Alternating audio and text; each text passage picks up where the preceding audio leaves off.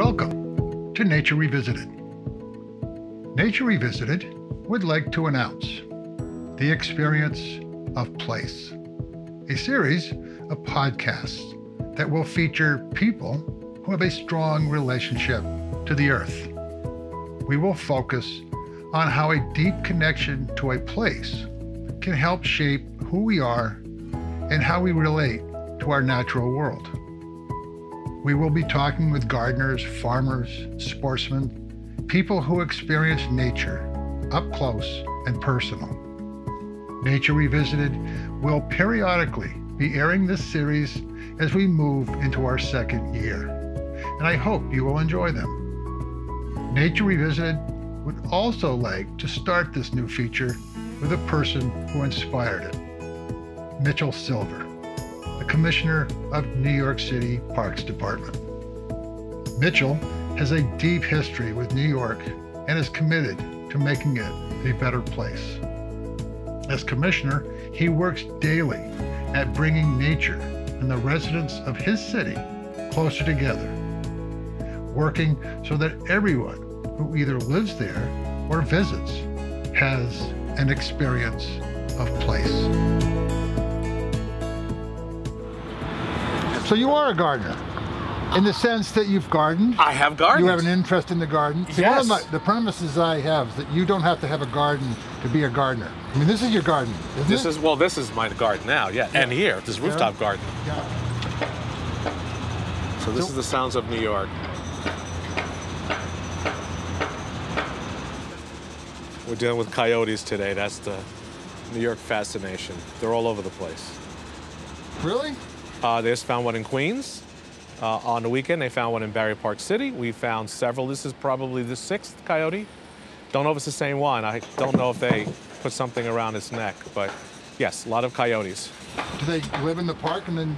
No, do they come from the north. Westchester County, then they migrate. Van Cortlandt Park in the Bronx, and now they're migrating south. We can't keep nature out of No, the city. we're in their territory. Take us from where you were brought up to where you are today. Give, give a, little bit of the history. Where did life lead you along the way? Well, I was born and raised in Brooklyn, New York. Uh, went to high school in New York, college and graduate school. Uh, got involved in architecture and planning, and so always had a love for cities and buildings and maps and the environment. But then I got more passionate about the people that occupied those places and not just the physical side. So my entire career, I got involved in urban planning, mostly in New York, then as a consultant. And that took me ultimately to uh, North Carolina, where I was very active in helping to reshape uh, an entire city, Raleigh, North Carolina. I was there for about 10 years and really helped that city become an emerging city uh, here in the 21st century. And then I was very fortunate to be elected president of the American Planning Association, and that allowed me to travel all over the world uh, and to see how other places plan for their cities and their parks. And then recently, the mayor called me and said, Would you like to come back home? Uh, I'm a planner, uh, wasn't actively involved in parks, but when I heard the mayor's challenge about creating a 21st century park system, one that's equitable and different, he had me at hello, and I felt it was time to come back. So, with my entire career, it's been this great marriage of really understanding the anatomy of cities, but more importantly, the fact of how you plan for people and not just place. And so I have focused my entire career on making sure those two components work together, and uh, that's basically what brought me here. And I'm very, very excited about the future for the park system here in New York City. My mother died when I was very young, but before she passed away, she enrolled my brother and I into the botanical garden, had a gardening program. And so while we wanted to play Little League, my mother uh, enrolled us in this program. We had a little plot of land in the botanical gardens in Brooklyn, and every Saturday we started planting. When we uh, purchased a house in upstate New York, uh, my mother was very much into gardening, and all of us had to take turns uh, tilling the soil, planting the seeds, taking care of the garden. And so for me, uh, maybe because my mother passed on, that those memories are very important to me. But I did enjoy putting my hands in the dirt, uh, feeling what the dirt feels like and crumbling it to know that that's the earth, that it just really provided a memory that really lasted me my entire life. When I owned a house, all those memories start rushing back as I start going through the same, you know, processes of making sure you're digging right and that everything is leveled off properly. But just the smell of the dirt There's a certain smell to it if you get nice, healthy dirt, uh, particularly in the Northeast, uh, that it just brings back these memories. And so for me, it's quite special. And I know that if a young child has those same experiences, it too will last them a lifetime. In very dense cities like New York, I don't think enough people pay attention to our natural environment. In New York City, we have 29,000 acres of parkland, but 10,000 acres are natural areas. And we're trying to really bring more attention to those natural areas throughout our city, whether it's the wetlands out in various parts and whether it's in the Bronx. Enough people aren't aware of the natural environment. When we take certain people to these locations or show them pictures, the first thing they'll say is that's not New York City. People are taken for granted natural areas. They believe they have to travel to far distances. And so we certainly want to bring more attention to all the natural resources we have here in New York City. We recognize what gardens do for the, in our opinion, the average citizen. We have botanical gardens, but we have a lot of gardens in many of our parks, our larger parks. And then we just have a lot of people that are invested in planting flowers, our whole gardener team that we have in many, many of our parks. So we understand that for some people, it's a place to relax. It's a place to come out and enjoy the natural beauty. In many of our gardens, they change color throughout the seasons, and so it just gives people a place to relax and to contemplate. Not every park is built for recreation. People go there for family gatherings. People go there to propose to get married. People go there for important community events. But it just gives people a way to walk away from New York City. And I always watch the eyes of a person that comes off of a street and enters a park, and all of a sudden, there are no cars, no bicycles, and you watch their eyes wander, and then when they hit a beautiful garden, you could just see their eyes light up. It's a natural beauty that you just cannot create on your own. And so, again, it's just beautiful layers of colors that are just well maintained and landscaped. And it's really a place where someone can just relax and just enjoy and feel alive. We have in New York City close to 1,800 community groups, our partner groups that are active in parks. We can always tell when a park is cared for by a community group, when they take ownership and love that park. And so we're seeing a lot of success that when we have neighborhood groups involved, they're involved in not just cleaning, but planting and gardening. And you could always walk by a park to know there's a community group involved in this one. And in many cases, it's in partnership with some of our own gardeners in the Parks Department. So when you have these smaller parks, the community really takes ownership because it's just at the right scale and they pass it almost every day. And so you see this affection they have for the park, and as a result, it translates to the beautiful gardens and how it's just not just maintained but cared for. For us, I just find that exciting and refreshing, and, and they do as well. What are some other projects that you're particularly proud of that you're working on that we may not know about yet? Well, the one we just kicked off is called Parks Without Borders. It was just mentioned in what's, what's called the One NYC. The mayor released the plan last week. And the Parks Without Borders is a concept that is not just looking at the parks, which covers 14% of the city's footprint, but parks and streets and sidewalks and all the other public spaces, which equates to 40% of the city's public realm. And so Parks Without Borders is taking a fresh look about how we can connect and make these public spaces more seamless because the average citizen won't know when they're walk, walking on Parks Department property and then all of a sudden they walk on Department of Transportation property. They're just walking. And so we want to plan that way that it's more seamless. We want to remove some of those barriers so people could get to parks a lot easier not have fences or gates or walls at certain streets. Start to penetrate it so people have more access to those parks. So it's a great new program to make our streets greener, to bring the park experience out to the sidewalk. And parks should not end at the, at the fence line, it should extend to the street as well. And so we're looking at how we can expand our entire public realm uh, with using parks as the real main feature. It's hard to say if I have a favorite. I try to get a different experience for different parks. So I go to each borough on a weekend and I'll pick a few parks of different scales that I'll go to. And I just want to observe. I want to see how people are experiencing and using the park whether you're a senior, a family, a child, an immigrant, a New Yorker, I want to see how people engage with the park. What are they doing? Where are they sitting? Why they're they doing what they're doing? But also look at just the quality of the park. And so I can't say I have a favorite spot because parks, the Bronx, for example, has an incredible park system when you go there, very similar to what you see here in Central Park. Staten Island has a very different vibe. Brooklyn has a very different experience. And so I don't have a favorite place, but I just love to see how people use the park. Rather than asking them for a survey, I like to watch and observe them. And for me, it helps me uh, plan the parks of the future. So what are some of your goals to the future? The first is that we want to create what I call the 21st century park system. As I see it, there have been several eras of park planning. The first was really the garden movement, is when people started to enjoy the outdoors, the formal gardens we know from Europe, and that basically translated to many of the parks here in the United States. And so they're always a critical element to a lot of our parks, but that was an era really toward the end part of the 19th century. Then the landscape architecture profession arrived. And for the first time, we had people who shaped the landscape. Central Park, Prospect Park. You had the gardens and meadows and trees. And now people can walk and experience the parks. Anyone could. Then we went into the what I call the Robert Moses era of the recreation facilities where every space you can find was packed with recreation. And there are a lot of people that still feel that era is still with us today. And then we get to that post-industrial era, which I call healing the land, where people were now taking untouched land, contaminated land, and creating it into the parks. The big question is, what's next? What happens now in the 21st century? One of the things we're going to focus on is equity. As we look at our park system, we want to make sure that all of our parks, large or small, in all neighborhoods are well cared for, or well maintained, regardless of where you live. So that's something that we're working on here in New York City. Another one is resiliency and sustainability. Post Sandy and with climate change, we're now in a new reality. We can't plan parks the way we used to, particularly on the waterfront or in flood prone areas. And so we're taking very unique approach on planning for the future, understanding how it needs to be more sustainable, green infrastructure to make sure as we plan for the future, our entire park system is more sustainable. Innovation technology.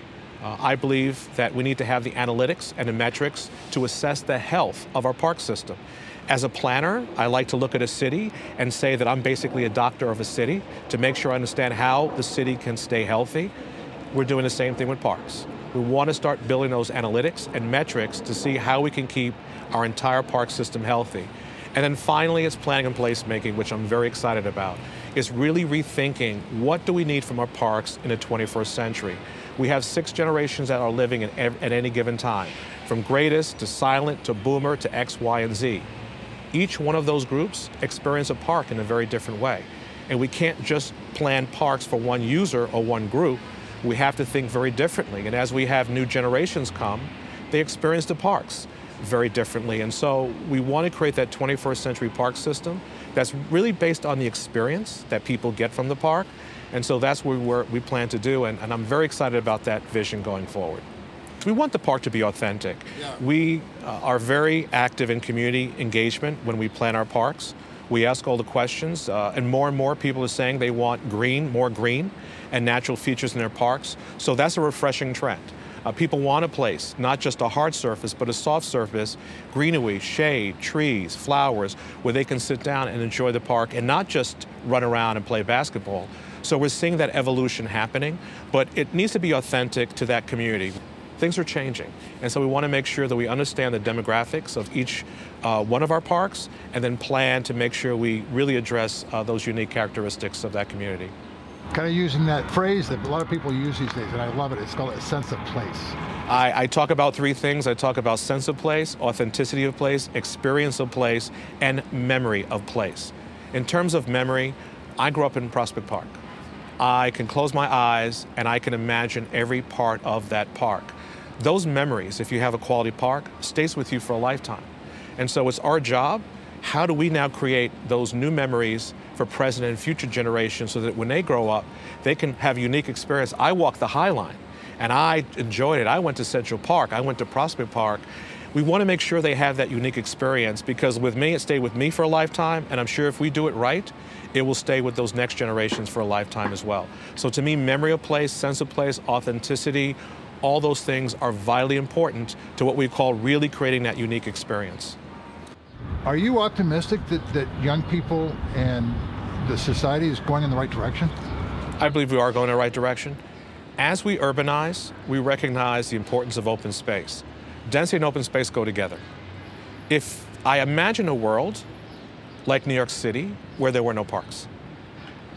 We need parks. It makes us feel alive. It gives us that sense of place. It gives us a place where our brains can just relax and take a break and enjoy the natural beauty. So as we urbanize, uh, we constantly hear if you're going to put more density, you must put more open space.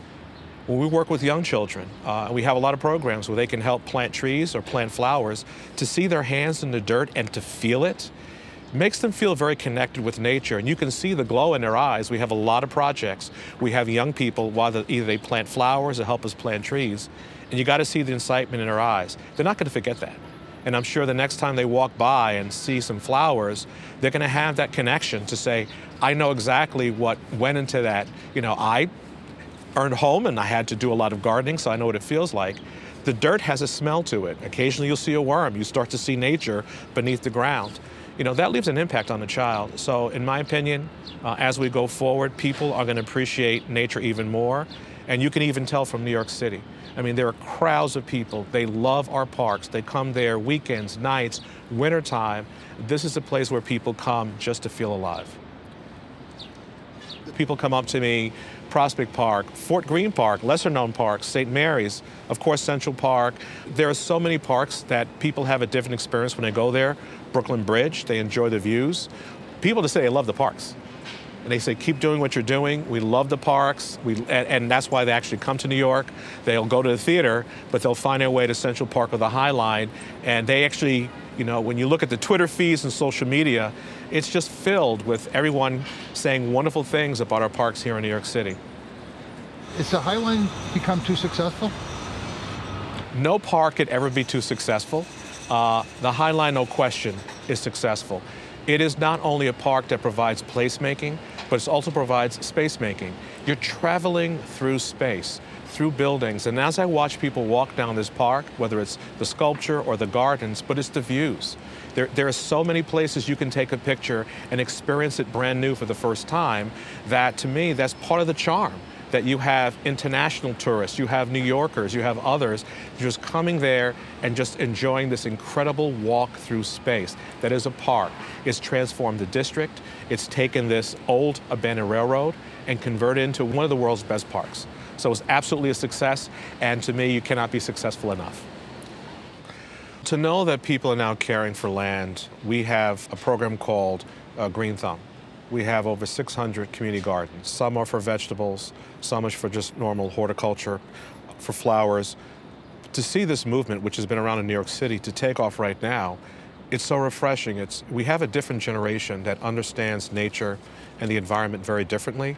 And so for me, it's just very refreshing that we have this purpose-filled generation that understands how important the land is and not taking it for granted. It's not just a commodity that you buy or sell, but it's something you have to respect and cherish.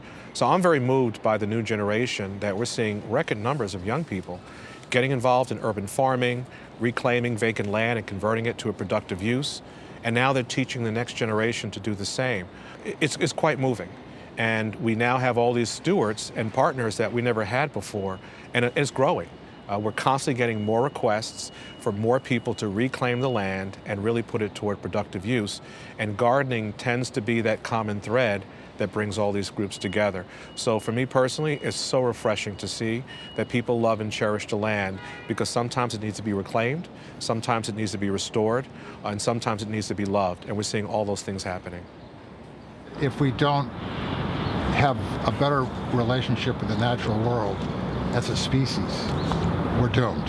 I agree. Uh, as we see more and more development, the natural landscape provides so many benefits to how we're going to grow as a species.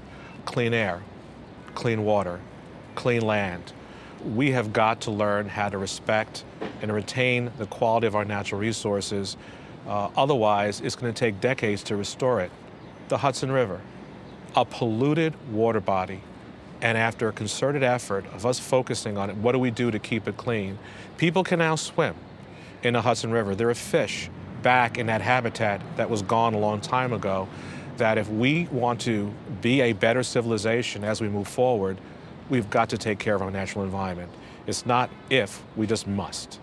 Anything you would kind of like to share either about your city about yourself, about nature, about gardens? Well, one of the messages that I've been sharing with my staff and with residents of the city is that one of our roles at parks is to build and maintain. And the more I think about that word maintain, I feel it doesn't do justice to what we have to do for our parks. While we should maintain, that is a checklist approach to doing things, but to me the word care is a lot more important.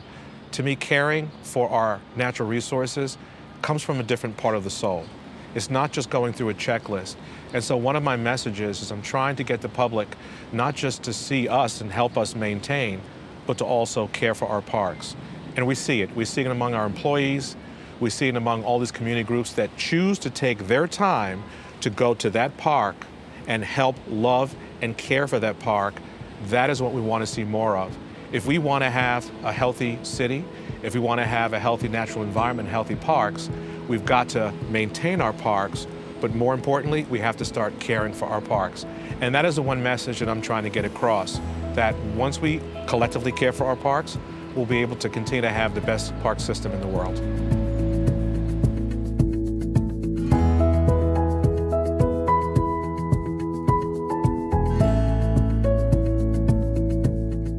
I hope you enjoyed my conversation with Mitchell Silver. The interview was recorded on the roof of the Arsenal building in New York City. If you did enjoy this episode, please share with family, friends, and colleagues. And do subscribe to Nature Revisited on your podcast server. You can always follow us on Instagram, Twitter, or YouTube. And Nature Revisited is produced by Stefan Van Norden and Charles Geoghegan.